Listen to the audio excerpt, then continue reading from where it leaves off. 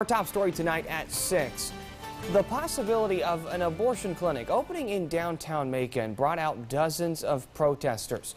Currently, the nearest clinic is in Atlanta. 41 NBC's Tanya Motorzitsky shows us where the facility would be and what people are saying.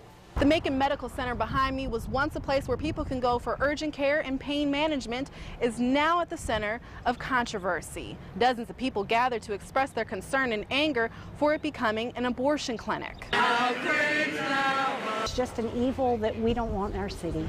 Macon Bibb Planning and Zoning Commissioners gave the green light to bring Summit Medical Associates into the old Macon Medical Center. St. Maximilian Kolbe Center for Life director Ann Beals says she hopes protesting will appeal the city's decision. Found out on Tuesday that Planning and Zoning had agreed to um, let an abortion company open a facility here.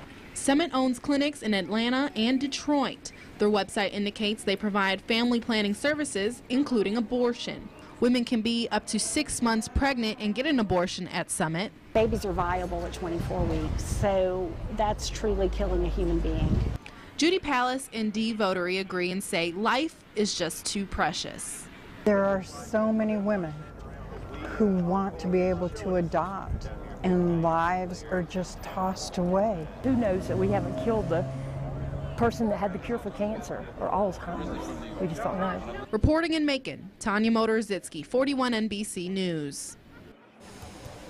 Well, we reached out to Macon Bibb Planning and Zoning for comment, but they haven't gotten back to us. We also tried to get a statement from Summit Medical Associates. It too has not replied either. Uh, there is no word yet on when that clinic will open.